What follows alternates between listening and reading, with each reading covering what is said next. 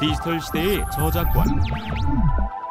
영국의 방송통신 규제 기관인 오브컴의 보고서에 따르면 영국의 12세 이상 인터넷 이용자 중 약 740만 명에 이르는 17%가 2013년 3월부터 5월 사이에 최소한 하나 이상의 온라인 콘텐츠를 불법적으로 이용했고 그중 4%의 인터넷 이용자는 불법적인 콘텐츠만을 이용한 것으로 나타났습니다.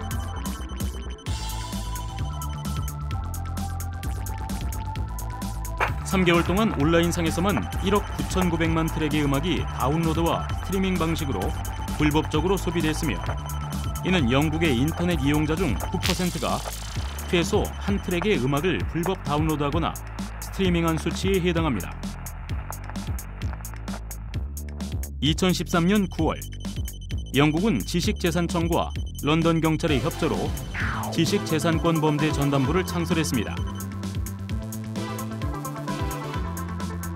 수사, 분석, 연구팀 등 총 19개의 팀으로 구성된 지식재산권 범죄전담부는 온라인 플랫폼을 이용해 이루어지는 지식재산 관련 범죄를 전담하여 독립적으로 수사하고 있습니다. 미국은 이미 1998년 10월 자국 내 온라인 콘텐츠 저작권 보호를 위해 디지털 밀레니엄 저작권법을 제정해 시행하고 있는데요. 디지털 밀레니엄 저작권법은 저작권을 주장하는 사람이 자신의 저작물이 허락 없이 다른 사이트에 올라가 있다는 사실을 온라인 사업자에게 소명하면 해당 온라인 서비스 제공자는 즉시 해당 저작물을 삭제해야 합니다. 이처럼 해외 여러 나라에서는 지식 재산에 대한 관리 감독이 엄격해지고 있으며 폴리침에 대한 법적 규제가 강화되고 있는 추세입니다. 하지만 여전히 많은 사람들은 온라인 표절과 무단 복제 등이 심각한 저작권 침해 행위라는 것을 인식하지 못합니다. 다른 사람이 쓴 수천 개의 복사물을 자신의 사이트에 게재하여 광고를 유치하고 불법적인 수익을 올리는 웹사이트들을 scraper site라고 부릅니다. 이러한 사이트들은 RSS 기능을 이용해 게시물을 무분별하게 스크랩을 합니다. 미국 투자 정보 사이트인 Footnoted의 편집장 미셸 레더는 자신의 글을 지속적으로 무단 복사하고 게재한 사이트를 상대로 저작물 사용 정지 요청을 했습니다. 그녀는 내가 그들의 저작물 무단 게재를 비난하기 위해 쓴 글조차 그 사이트는 스크랩해 갔다고 말했습니다.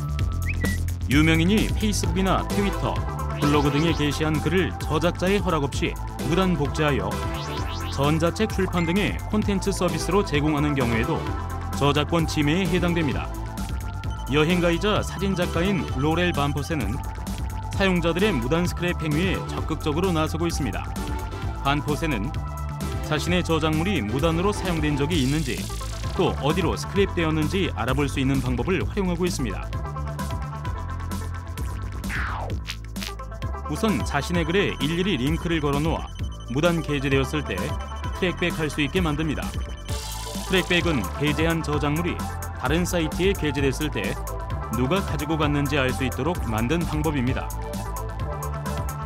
또한 구글 검색 등을 통해 자신의 이름이나 글을 검색해보거나 구글 alert 기능을 이용해 뉴스 사이트나 블로그에서 자신의 저작물을 발견하는 즉시 알려주도록 설정해둡니다. 이러한 노력으로 반포세는 자신의 글이 무단 게재된 사이트들을 확인할 수 있었죠. 국제지식재산권연맹이 발표한 미국 저작권 산업 2014 리포트에 따르면 2013년 핵심 저작권 산업은 미국 경제에 1.1조 달러의 경제 효과를 안겨준 것으로 나타났습니다. 디지털 기술을 기반으로 성장하고 있는 저작권 관련 산업은 이제 산업 전반으로 확대되고 있습니다. 빠르게 변화하는 디지털 시대에 부응하는 체계적인 법의 제정과 적용이 산업 발전의 토대가 될 수 있습니다.